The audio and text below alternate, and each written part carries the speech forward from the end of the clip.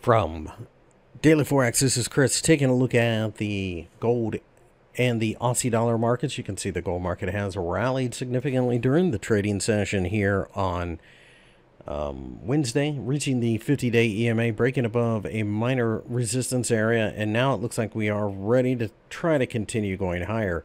I like buying gold on dips, don't see any reason whatsoever to short this market. It looks very bullish to me. I'm going to keep uh, the upward slope kind of going in my head here. A 200 day EMA, 1800 both should offer significant support. I do think eventually we go to 2100, if for no other reason than stimulus.